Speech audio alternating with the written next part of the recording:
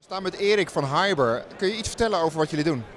Ja, wij bieden uh, verbindingen voor uh, de Internet of Things, dus uh, slimme sensoren. En dan richten wij ons eigenlijk op de buitengebieden. als je kijkt, 10% van de aarde heeft verbindingen. En 90% van de aarde heeft geen verbindingen. Daar kun je alleen maar communiceren met satellieten. En daar hebben wij een oplossing voor bedacht. Om ook in die 90% van de aarde je data op een kostenefficiënte manier van A naar B te krijgen. En hoe doen jullie dat? Ja, wij hebben onze eigen satellieten. Dus we hebben onze eigen satellieten gebouwd en ontwikkeld. En uh, daar zijn wij in 2016 mee begonnen. In 2018 hebben we de eerste twee satellieten gelanceerd.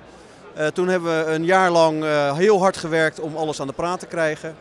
En sinds ja, eind vorig jaar zijn we ook daadwerkelijk met klanten projecten aan het doen.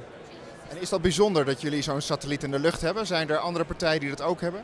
Ja, er zijn ook wel andere partijen die het doen. Uh, ik denk wat, wat, wat, wij, uh, wat ons echt ja, anders maakt, is dat wij uh, heel pragmatisch begonnen zijn. niet vanuit de researchomgeving, maar gewoon wij zagen dat IoT, de grote belofte, dat dat in stedelijke gebieden ja, begon te werken. We zagen dat het in de buitengebieden niet werkte, terwijl heel veel primaire industrieën zoals landbouw, visserij, mijnbouw, transport daar zit. Eh, dus dachten van, goh, waarom is dat nou? En toen kwamen we erachter dat eh, stroomverbruik en kosten een groot probleem waren. En dat de huidige satellieten dat eigenlijk niet konden. Want de huidige satelliet gebruikt veel stroom en is duur in het onderhoud, et cetera. Ja, de huidige satellieten zijn eigenlijk gebouwd voor breedbandtoepassingen. Beeld, geluid, tweeweg. En voor IoT is dat niet nodig. Hè. Dat is één keer per dag een berichtje, is voor 90% van de use cases voldoende. En toen we dat wisten hadden we zoiets van, nou dan, dan kunnen we misschien wel met een soort minimal viable product uh, beginnen. Gewoon met één satelliet kunnen wij een dienst aanbieden. En we zagen ook uh, tegelijkertijd dat de ruimtevaart eigenlijk steeds toegankelijker werd. Uh, het werd steeds makkelijker om een satelliet te bouwen en om te lanceren. En in die gesprekken toen zei op een gegeven moment iemand van, joh kan je niet de Twitter in the sky worden? En toen we dat, toen, dat toen, ja, toen in één keer hadden we zoiets van, ja dat is misschien wel de oplossing. Wat is dat dan, de Twitter in the Sky? Uh, Twitter in the Sky is, je hebt een sensor en die, uh, die neemt uh, 24, 24 keer per dag, bepaalt hij bijvoorbeeld een positie, waar ben ik? Of hij neemt 24, 24 keer per dag een positie over grondwater of een apparaat, staat het aan of uit? pijpleiding, is er corrosie ja of nee?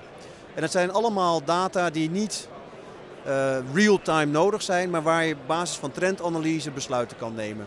En, uh, en dan één keer per dag wordt dat berichtje verstuurd. Dat is 144, 144 bytes, hè. dat is ongeveer de grootte van een sms'je of een tweet. Nou, dus vandaar Twitter in the sky. Ja. Je had het net over het aantal satellieten. Waarom heb je zo weinig nodig om de aarde te bestrijken? Nou ja, dat is eigenlijk uh, vrij simpel. Uh, onze satelliet draait om de aarde heen. Uh, die draait 16 rondjes van pol tot pol per dag om de aarde. En de aarde draait daar omheen, daar onderdoor. En als het ware schillen we de appel daarmee. Dus we zijn ook niet continu aan. De satelliet komt een aantal keer per dag komt die langs. En op het moment dat hij langskomt, kun je de data versturen. En waren jullie ervaren in de, laten we zeggen, space technologie toen jullie hiermee begonnen? Nee, we waren echt totaal zo groen als gras. Eh, wij, eh, wij hebben een achtergrond eh, in internet. We hebben samen hiervoor Treatwell een online marktplaats gedaan. Laurens is een van de oprichters van Just Eat. Ik heb uh, zelf Booking.com gedaan. Dus ja, we hebben eigenlijk een hele, hele andere achtergrond. En uh, wij denken eigenlijk dat we daar best een voordeel mee hebben. We maken natuurlijk best wel wat fouten ook daardoor. Uh, maar we doen ook heel veel dingen niet die we anders heel veel tijd zouden kosten. En uh, daardoor kunnen we wat sneller gaan dan de rest. En hoe gaat het dan als je in de markt bent voor een satelliet? hoe, hoe doe je dat?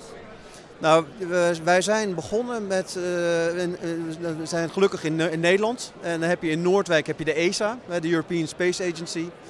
En uh, ja, daar zijn we eigenlijk begonnen. En dan heb je in Delft ook een redelijk groot ecosysteem uh, met, met, met space gerelateerde bedrijfjes. En ja, daar, daar begin je dan. En hoe gaat de business nu? Hoe loopt het?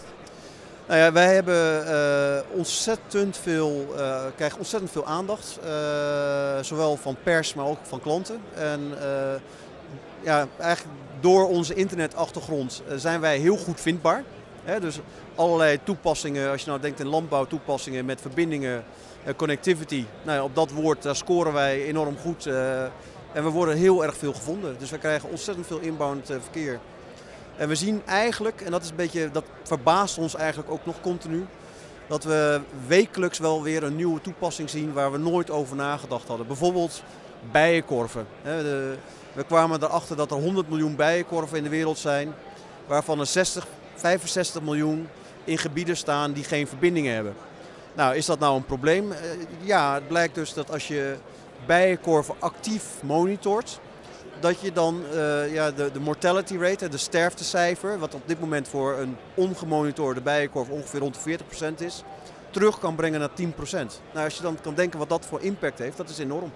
Ja. Waar zie je het bedrijf heen gaan, een beetje zo de komende jaar, twee jaar?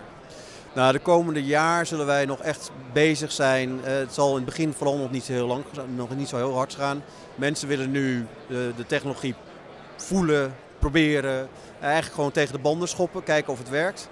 Uh, voordat een bedrijf zoals Shell zijn ja, technologie hierop gaat aanpassen, willen ze echt weten dat het werkt. Dus dat zal, dit jaar zal echt in dat, uh, dat teken staan. En dan zullen we vanaf 2021 gewoon een versnelling gaan zien in, in het aantal toepassingen. Ook in het aantal satellieten wat we gaan lanceren. We gaan er dit jaar waarschijnlijk vier lanceren en dan volgend jaar nog een keer achterbij. Dus we zullen echt een versnelling gaan zien in, uh, in het bedrijf. Succes. Dankjewel.